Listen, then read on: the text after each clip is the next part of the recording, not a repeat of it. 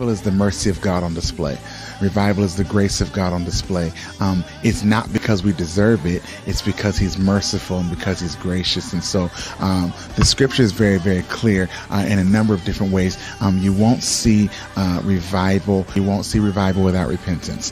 Um, historic, uh, historically speaking, you won't see revival without prayer. Also, historically speaking, you won't see revival without a move of the Spirit, uh, meaning that that He moves among His people. And when He moves among His people, uh, I think that that one of the great things about uh, Jesus' move among the people is the fact that what he does in the heart of people who surrender to him uh, is greater than what they could do on their own. We we have um, the, the, Bible talks about uh, in Timothy, train yourself to be godly, and what we have is a bunch of people trying to be, uh, and there's a big difference between trying and training. And so ultimately, what the Spirit empowers us to do is literally give up and surrender, and as a result, the Bible is the mercy of God on display.